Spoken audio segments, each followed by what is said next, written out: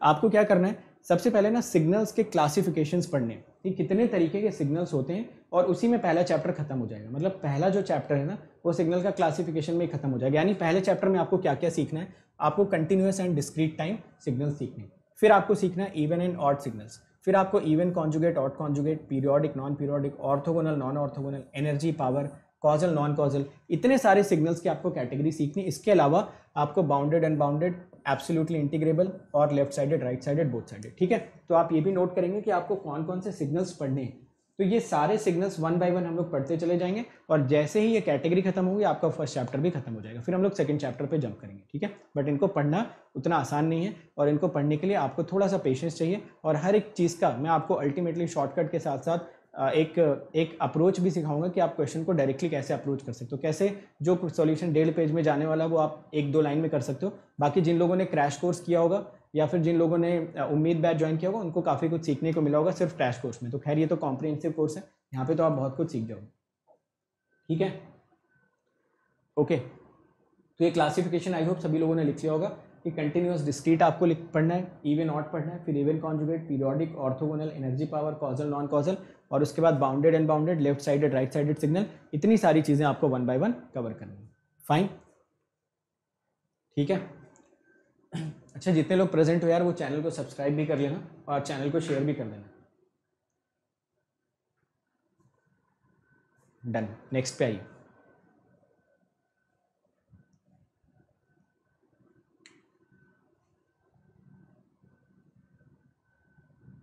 Eight nine ten notes बनाते रहना। जैसा कि देखो, अंकित सर ने भी बोला कि मल्टी कलर पेन ले लो स्केल वगैरह सब कुछ लेके। बेहतरीन नोट्स बनाते रहो। और जब पूरे नोट्स बन जाए तो वो नोट्स हमारे साथ भी शेयर कर देना, ठीक है? तो उसका पीडीएफ बना के तुम शेयर करना। इस बार हमें तुमसे पीडीएफ चाहिए। तो देखते हैं कितने लोग पीडीएफ बना के शेयर कर भी पाएँगे या नहीं। चलो, आते हैं अब नेक्स्ट पॉइंट पे। अब चलें, सबसे पहली कैटेगरी ले लें। Continuous time signal and discrete time signal बोलते जब भी जाओ यार। ले लें ये वाला या नहीं? Continuous time discrete time signal yes ठीक है? अब जरा मैं आपसे एक पॉइंट पूछता हूँ, ठीक है? एक मैं सिंपल सा क्वेश्चन पूछता हूँ। आप आप मुझे बताइए एक सिंपल सा क्वेश्चन मैं आपसे पूछता हूँ, आप मुझे उसका जवाब दीजिए। अगर मैं बोलता हूँ कि कोई सिग्नल कंटिन्यूस है तो आपके दिमाग में क्या थॉट आता है? जल्दी से बताने यार सभी लोग। मैं बोलता हूँ कि एक सिग्नल ले लो और ये सिग्नल कंटिन्यूस है। तो आपके दिमाग में ये सुन के क्या थॉट आता है? आपको आपको मुझे बताना है। फिर मैं आपको बताता हूँ कि आपके दिमाग में असल में क्या थॉट आना चाहिए। अब देखो, अब उल्टा चलेगा ना? अब जब समय का पहिया घूमेगा तो उल्टा चलेगा। इस बार तुम लोग वापस हमको पीडीएफ दोगे, पूरे नोट्स का कंप्लीट नोट्स का, ठीक है? जो भी तीन सौ, साढ़े तीन सौ पेज के नोट्स बनेंगे, उसका पीडीएफ बनाओगे सुंदर तरीके से और उसका पीडीएफ हमसे शेयर भी करोगे। ठीक है? ओके फाइन चलो। ठीक है। समझ लो समझ लो कि अगर तुम्हारा कोई इंटरव्यू ले रहा है और तुमसे पूछता है कि व्हाट इज़ कंटिन्यूस सिग्नल तो कुछ लोग बता रहे हैं एग्जिस्ट एट एवरी पॉइंट कुछ लोग बता रहे हैं कुछ और, कुछ लोग बता रहे हैं कुछ और। अगर मुझसे कोई पूछता है कि व्हाट इज़ कंटिन्यूस सिग्नल तो वापस मैं उससे पलट के क्वेश्चन पूछता कि भाई तुम्हें कंटिन्यूस सिग्नल जानना है? पहले ये तो बताओ कि तुम एम्पलीट्यूड में कंटिन्यूटी जानना चाहते हो या टाइम में कंटिन्यूटी जानना चाहते हो? किसी भी सिग्नल का जब ग्राफ बनाते हो या सिग्नल को प्लॉट करते हो तो ऑब्वियसली दो एक्सेसेस आपको मिलती हैं। कौन कौन सी? दो एक्सेसेस आपको दिख जाती हैं, वो भी एक वर्टिकल एक्सेस एक हॉरिजॉन्टल एक्सेस वर्टिकल एक्सेस का मतलब क्या होता है? वर्टिकल एक्सेस का मतलब होता है एम्पलीट्यूड जनरली वर्टिकल एक्सिस का जो मतलब होता है उसका मतलब जनरली हम लोग क्या लेके चलते हैं? We generally talk about time ध्यान से सुनना मेरी बात को यार है ना? अब यहाँ पे थोड़ा सा फोकस होकर मेरी बात सुनिए। फिर मैं आपको लिखने का टाइम दे दूँगा। अभी लिखने की चिंता नहीं करनी। जो हॉरिजॉन्टल एक्सेस होती है जनरली उसको हम टाइम ले लेते हैं ना। फ्रीक्वेंसी भी होती है हॉरिजॉन्टल एक्सेस एक्स भी हो जाता है बहुत कुछ होता है। बट सिग्नल सिस्टम में जनरली हम वर्टिकल uh, एक्सेस को क्या लेके चलते हैं? एम्पलीट्यूड और इस वाली एक्सेस को टाइम या फ्रीक्वेंसी वॉट तो अगर कोई मुझसे पूछता है ना कि वॉट इज़ कंटिन्यूस सिग्नल तो मैं वापस उससे पलट के क्वेश्चन पूछता कि भाई, पहले तुम ये बताओ कि कंटिन्यूटी तुमको जाननी कहाँ पे तुमको एम्पलीट्यूड में कंटिन्यूटी जाननी है या तुमको टाइम की कंटिन्यूटी जाननी है? अगर तो वो बोलता है कि मुझे एम्पलीट्यूड की कंटिन्यूटी जाननी है तो उसको बोलना कि भाई, तुम जाके मैथ के लेक्चर अटेंड करो। मैथ में जहाँ पे भी कंटिन्यूस वर्ड यूज़ होता है कंटिन्यूस का मतलब ही होता है बाय डिफ़ॉल्ट की कंटिन्यूटी इन द एम्पलीट्यूड जो आप लिमिट वाला चैप्टर पढ़ते हो लिमिट वाले चैप्टर के बाद जो कंटिन्यूटी वाला चैप्टर आता है, उसमें आप कहाँ की कंटिन्यूटी चेक करते हो? वहाँ पे आप एम्पलीट्यूड की कंटिन्यूटी चेक करते हो। कैसे चेक करते हो? आप बोलते हो left hand limit right hand limit functional value तीनों बराबर होनी चाहिए और उसके साथ साथ वो फाइनाइट भी होनी चाहिए। तो लेफ़्ट हैंड लिमिट का मतलब क्या हुआ? एम्पलीट्यूड की वैल्यू तो हुई। राइट हैंड लिमिट का मतलब क्या हुआ? एम्पलीट्यूड की वैल्यू हुई। फंक्शनल वैल्यू का मतलब क्या हुआ? एम्पलीट्यूड की वैल्यू हुई। ये तीनों बराबर के साथ साथ जब फाइनाइट आ जाते हैं, तब हम बोल देते हैं कि यार हमारा सिग्नल कंटिन्यूस अब मैथ्स में हम इतना लोड नहीं लेते बट क्लैरिटी के साथ हमें बोलना चाहिए कि हमारा सिग्नल कंटिन्यूस इन एम्पलीट्यूड है। फाइन अगर तो वो हमसे पूछता है कि नहीं हमें कंटिन्यूटी इन टाइम बताओ तो उसको भेज देंगे सिग्नल सिस्टम के पास कि जाओ भाई सिग्नल सिस्टम वाले चैप्टर में। सिग्नल सिस्टम में जहाँ पे भी कंटिन्यूस वर्ड यूज़ होता है डिफ़ॉल्ट वर्ड उसके साथ हमेशा टाइम लग जाता है। या अगर मैं कभी बोल देता हूँ ये सिग्नल कंटिन्यूस है और मैं सिग्नल सिस्टम पढ़ा रहा हूँ तो आप समझ जाना कि सर टाइम की ही बात कर रहे होंगे। एट द सेम टाइम अगर मैं मैथ पढ़ा रहा हूँ और मैं आपको बोल रहा हूँ यार सिग्नल कंटिन्यूस है तो आप समझ जाना सर अभी मैथ्स पढ़ा रहे हैं। तो एम्पलीट्यूड की बात हो जैसे वो मूवी आपने देखी ना? जिसमें दुग्गल साहब रहते हैं। तो दुग्गल साहब किसी दिन पोस्टमैन बने होते हैं, किसी दिन इंजीनियर बने होते हैं, किसी दिन कुछ और भैया मूवी का नाम मैं भूल गया। अगर आपको याद हो तो बताना। तो उसमें रहते हैं ना, दुग्गल साहब आते हैं और बोलते हैं कि आज आज दुग्गल साहब इंस्पेक्टर बने हुए हैं, आज दुग्गल साहब ये बने हुए हैं। तो मेरे कहने का मतलब है ना, जब मैं मैथ्स पढ़ा रहा हूँ तो उस टाइम पे मैं बोलूँगा कंटिन्यूस सिग्नल तो आप समझ जाना कि आज सर शायद दुग्गल साहब बने हुए हैं और शायद आज एम्पलीट्यूड की बात कर रहे हैं। जब भी मैं ही वापस से सिग्नल सिस्टम पढ़ाने आ जाऊँगा और मैं बोलूँगा कंटिन्यूस सिग्नल तो आप समझ जाना, आज भी सर दुग्गल साहब बने हुए बट आज सिग्नल सिस्टम पढ़ा रहे हैं। तो शायद इस टाइम पे वो किसकी बात करेंगे? टाइम एक्सिस की। समझ गया ना? तो कंटिन्यूस वर्ड ना थोड़ा सा थोड़ा सा माइंड में आपके क्लैरिटी क्रिएट करना चाहिए कि कंटिन्यूटी वो जानना किस चीज़ की चाहता है। चलो, अब मैं आपसे पूछता हूँ। हाँ यार, आपने नाम नाम सही बताया। तो वैसे ही आप समझ लेना, ठीक है, कि डिफरेंट डिफरेंट दिन मैं अपने रोल चेंज करता रहूँगा। चलो, मैं फिर से पूछता हूँ यार।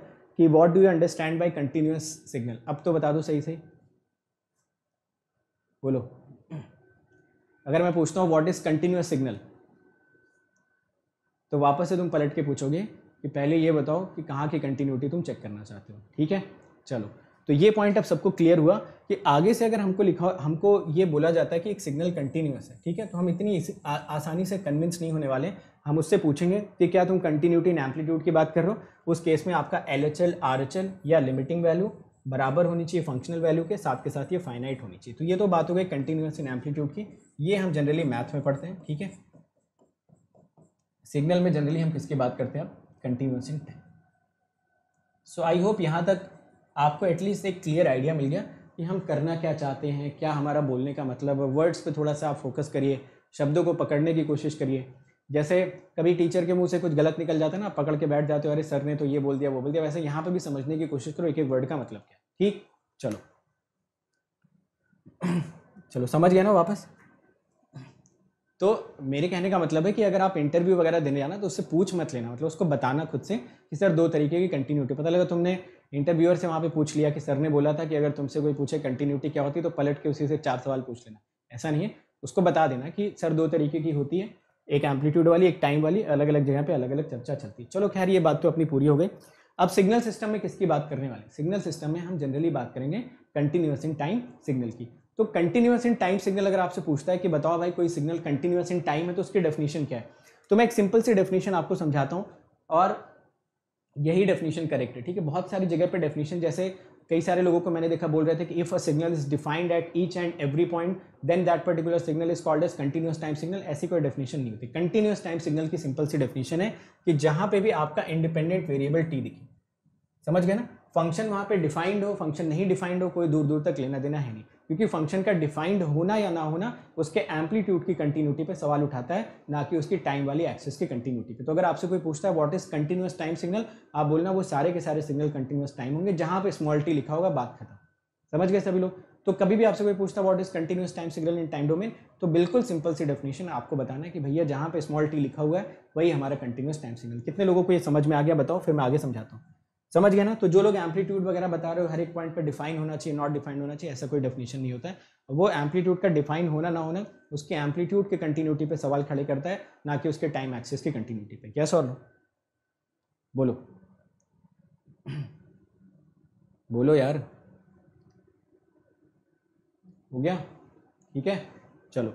अब देखो, जैसे यहाँ पे लिखा हुआ x t is equal to one by t तो देखो, आपके हिसाब से तो ये कंटिन्यूस टाइम सिग्नल होना ही नहीं चाहिए। क्योंकि ये ज़ीरो या ज़ीरो प्लस पे कहाँ को टेंड कर रहा है? इन्फिनिटी को टेंड कर रहा है। समझ गए ना?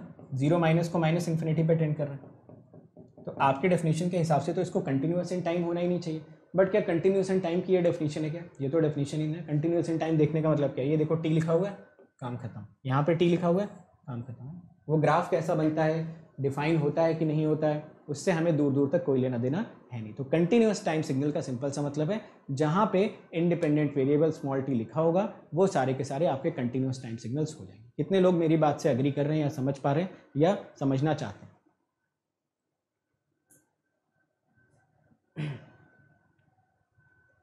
ठीक है?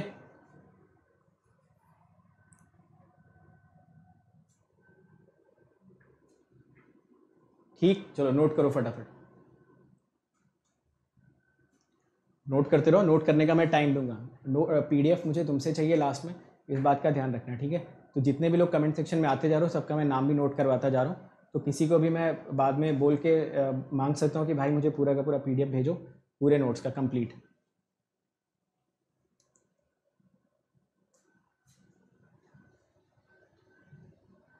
ठीक है? कुछ समझ में आया? क्या चल रहा है अभी तक? चलें आगे? चलो। तो देखो, आसान है ना? कितना सिंपल हो गया। कंटिन्यूस टाइम कोई पूछता तो बता दो, जहाँ टी लिखा है वो कंटिन्यूस टाइम है, बात ही खत्म हो गई। चलो डिस्क्रीट टाइम पे आ जाए। चल सकते हैं डिस्क्रीट टाइम पे। आइए देखते हैं डिस्क्रीट टाइम सिग्नल क्या होता है। डिस्क्रीट टाइम सिग्नल्स के बारे में अगर आपसे कोई पूछता है कि what is discrete time signal तो आप बोलोगे डिस्क्रीट टाइम सिग्नल्स का मतलब अगर कोई मुझे कंटिन्यूस टाइम सिग्नल देता है, और अगर मैं उसकी यूनिफॉर्म सैम्पलिंग कर देता हूँ। यूनिफॉर्म सैम्पलिंग का मतलब क्या होता है? कि मैं उस पर्टिकुलर सिग्नल को ना डिफरेंट डिफरेंट जगह से ब्रेक कर देता हूँ। डिफरेंट डिफरेंट जगह से ब्रेक करने का मतलब पहले वो सिग्नल टाइम के हर एक वैल्यू के लिए कुछ ना कुछ एम्पलीट्यूड शो कर रहा था। अब मैं क्या करूँगा, उसको टाइम के सिर्फ़ और सिर्फ़ किसी स्पेसिफिक वैल्यूज़ के लिए ही एम्पलीट्यूड शो करने का मौका दूँगा। तो जैसे कि मान लो, हमारे पास एक सिग्नल था एक्स ऑफ़ टी ठीक है? इस एक्स ऑफ़ टी को हमने कैसे स्विच से गुजारा? जो स्विच इन पर्टिकुलर इंस्टेंट पे एक मोमेंट के लिए क्लोज हो रहा है। मतलब जैसे ही टी इक्वल टू ज़ीरो हुआ, ये स्विच यहाँ पे क्लोज हुआ, वापस से ओपन हो गया। समझ गए ना? तो समझ लो कि ये आपका एक ब्रेक पैडल जैसा है कि ब्रेक दबाया, जैसे ही आप पाँव हटाओगे, वापस ये पैडल ऊपर हो जाएगा। ठीक है? फिर आपने क्या करा? फिर आपने देखा t is equal to t s t is equal to t s पे वापस से आपने पैडल दबा के पाँव हटा लिया तो वापस से बस क्लोज हुआ और वापस से ओपन हो गया। वैसे ही t is equal to two t s पे आपने क्या किया? वापस से पैडल दबाया और इसको ओपन कर लिया। ये जो आप t is equal to t s t s यहाँ पे कैलकुलेट कर रहे हो ना टी एस का नाम होता है सैम्पलिंग इंटरवल यानी टी एस टी एस की ड्यूरेशन पे आप सैम्पलिंग कैलकुलेट करना चाहते हो और ज़ाहिर सी बात है कि अगर आप वन बाई टी एस लिख दोगे यार तो आपको क्या मिल जाएगा? सैम्पलिंग फ्रीक्वेंसी तो वन बाई टी एस को हम बोल देते हैं सैम्पलिंग फ्रीक्वेंसी देखो जो टी एस होता है ना, उसकी यूनिट क्या हो जाती है? ये तो सेकेंड होगा, इसमें तो कोई डाउट ही नहीं है। और इसको कभी कभी हम सैम्पलिंग फ्रीक्वेंसी या सैम्पलिंग रेट भी बोलते हैं। समझ गए ना? तो दोनों नाम इसके बहुत ही पॉपुलर होते हैं। ज़्यादातर टाइम पे इसका जो नाम है सैम्पलिंग रेट वो ज़्यादा पॉपुलर होता है। जो सैम्पलिंग रेट वर्ड है ना वो आपका ज़्यादा पॉपुलर होता है। इस वजह से इसकी यूनिट भी वेरी करती है, आप देखोगे। कभी कभी इसकी यूनिट हर्ट्स होती है या कभी कभी इसकी यूनिट्स सैम्पल्स पर सेकेंड होती है। ठीक है? तो दोनों नाम आप याद रखेंगे तो कभी कभी इसके नाम सैम्पल्स पर सेकेंड होता है। देखेंगे सभी लोग और बताएँगे। तो नोट कर लो इसको, फिर एक एक सिग्नल को यहाँ से पास करके देखते हैं। ये जो ब्रेक पैडल लगा हुआ है, इस ब्रेक पैडल से एक सिग्नल को पास करके देखते हैं। देखते हैं आउटपुट क्या आता है, कैसे बनता है। और उसका हम नोटेशन किस तरीके से यूज़ करने वाले करेक्ट देखो और बताओ। करते रहो यार नोट करते रहो। एक ही घंटे की क्लास है, जिसमें से लास्ट के आठ मिनट बचे हुए okay can we say diode is use in uniform sampling नहीं है डायोड आप नहीं बोल सकते, ठीक है? डायोड तो इस पर डिपेंड करेगा। जो डायोड का ओपन या क्लोज होना है ना, वो सिग्नल पर डिपेंड करेगा। यहाँ पे इसका जो ओपन या क्लोज होना है ना, वो सिग्नल से हमेशा इंडिपेंडेंट होना चाहिए, ठीक है?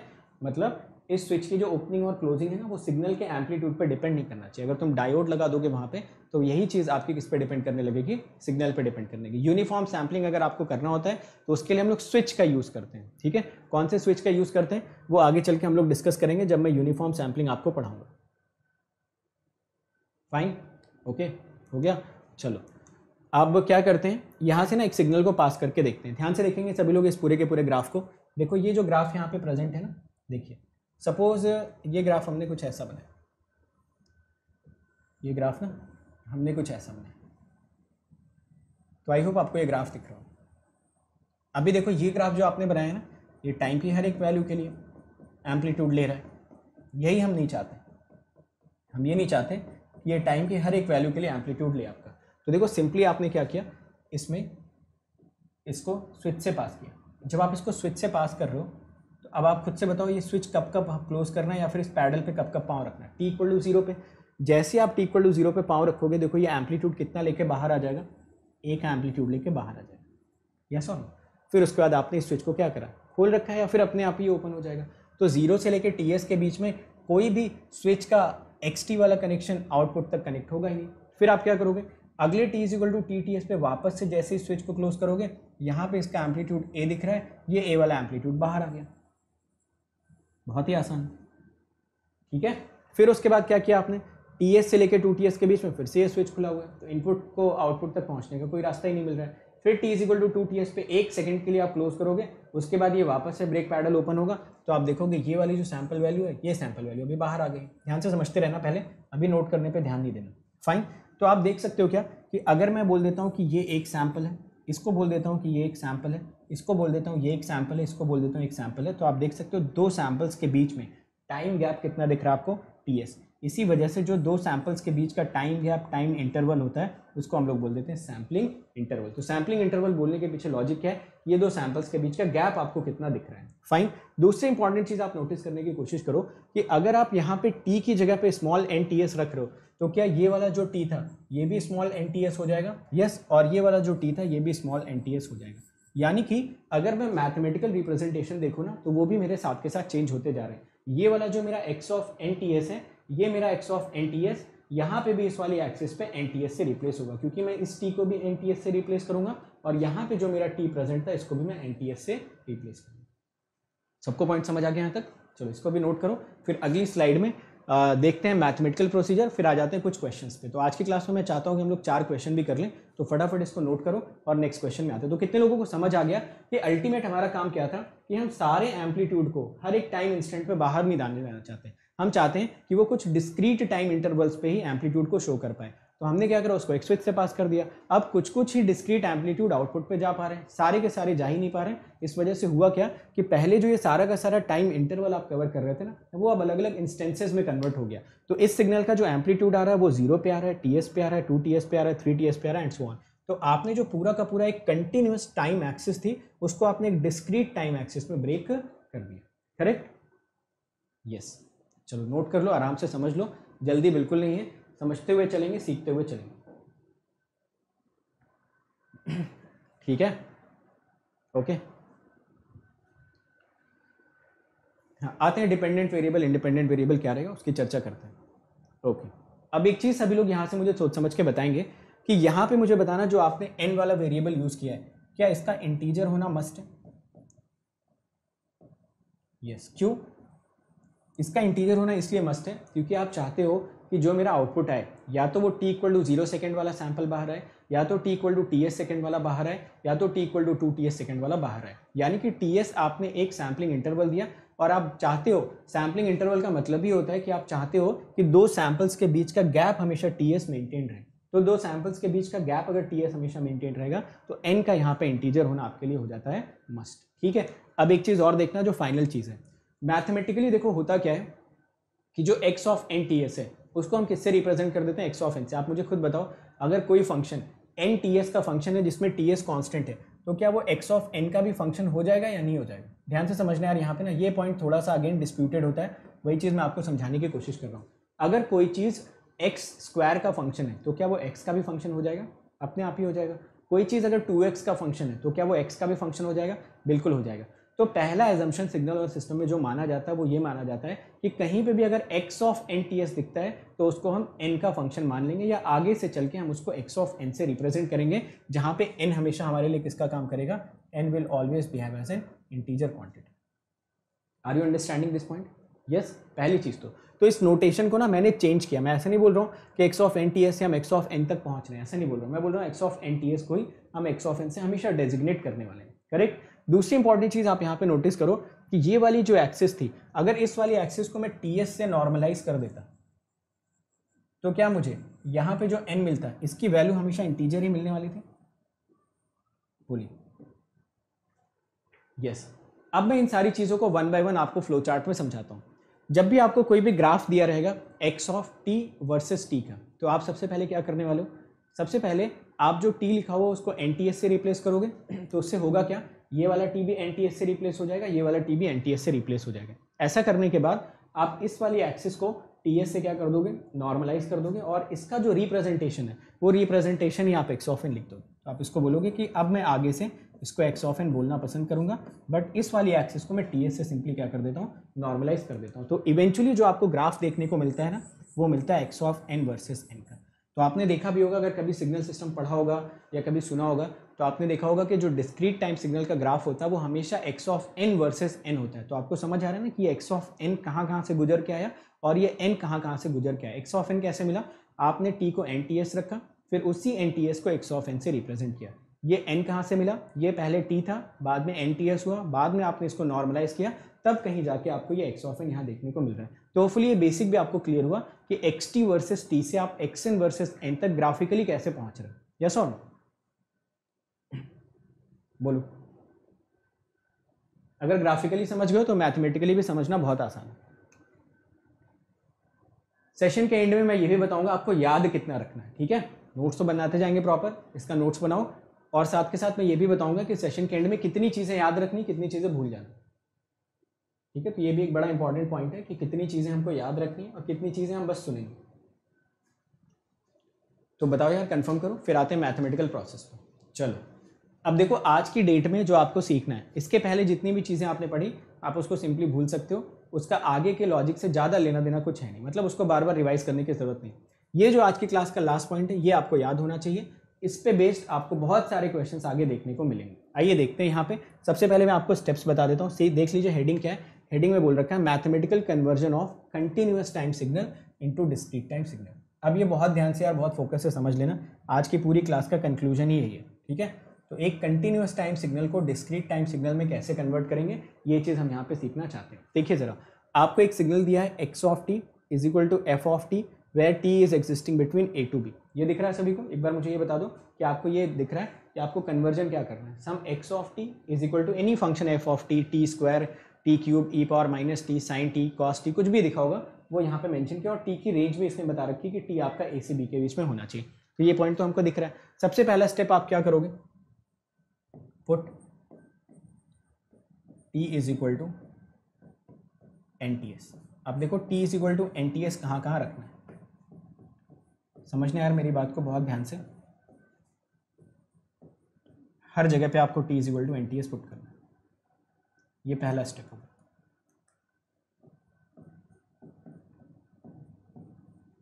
Done first step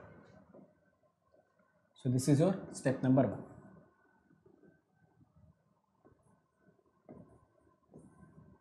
correct step number two ये जो x of n t s है, इसको सिंपली आप एक्स ऑफ़ एन से रिप्रेजेंट करेंगे जैसे अपनी डील हुई थी। अपनी डील ये हुई थी कि जो ये x of n t s होगा, यहाँ पे तो हम हमेशा एक्स ऑफ़ एन से रिप्रेजेंट करेंगे। बट यहाँ पे put value of t s यहाँ पे हमेशा value of t s put करेंगे इस साइड में, और यहाँ पे तो खैर था ही। तो ये हो जाएगा a by t s b by t ये दो स्टेप्स ना बहुत क्रूशियल तो आज की क्लास में अगर कोई भी चीज़ आपको याद रखनी है तो ये स्टेप्स याद रखना कि मैंने आपको क्या क्या इन स्टेप्स में समझाया. आपको कभी भी x of t is equal to f of t दे रखा हो where t is between some range a to b तो t is equal to n t s पहले हर जगह पे पुट कर देना. तो स्टेप वन कंप्लीट हो जाएगा. फिर इस x of n t s को डायरेक्टली एक्स ऑफ़ एन के तौर पे ट्रांसपोर्ट कर लेना. बाकी हर जगह पे आप टी एस की वैल्यूज़ पुट करोगे whatever is the value and you will calculate this value अगर आपको ये फ्लो चार्ट समझ में आ गया हो तो क्वेश्चन पे इमीडिएटली जंप करें। अच्छा आपको नोट भी करना है तो नोट करिए। नोट करने के साथ साथ समझ भी लीजिए। फिर मैं आपको चार क्वेश्चन कराता हूँ। अगर आप वो चार क्वेश्चन कर ले जाते हो तो मैं शांति से ये क्लास खत्म कर सकता हूँ। मैं समझ जाऊँगा कि आपने काफ़ी इसी तरीके से, काफ़ी आसानी से सारा का सारा सेशन आज का फॉलो कर लिया। ठीक है? It's time to experience something glorious. An Academy Combat. Compete, crack, conquer. A challenging gate contest engineered to give you an experience like none other. where you put your knowledge to test. and battle it out with the best. To bring out the best in you, An Academy Combat is the most competitive, gamified contest for gate till date, with the best of the questions by best educators.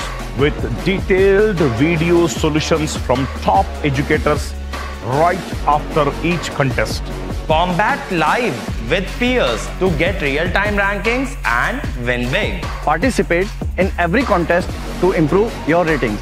Challenging contests every fortnight or alternate Sunday. Live ranking after every question. Big rewards for top rankers. Your passion to crack gate deserves this. Your hard work towards your dream deserves this. Fuel your inner fire for the ultimate gate challenge. Unacademy Combat. Register now